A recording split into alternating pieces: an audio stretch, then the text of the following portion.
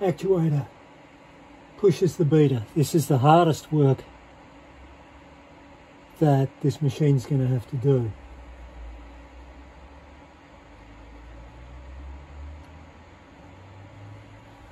And this battery's a bit flat. So it's probably only delivering about 9 volts. The circuit that's going to drive this will be an H bridge and it will do a positive going pulse for note on like this and a negative going pulse for note off like my finger just did.